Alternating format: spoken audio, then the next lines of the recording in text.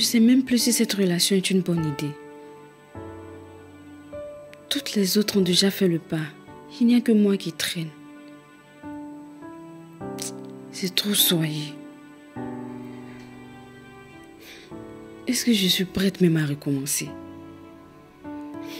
Et Fred qui vient mélanger ma tête et compliquer encore les choses.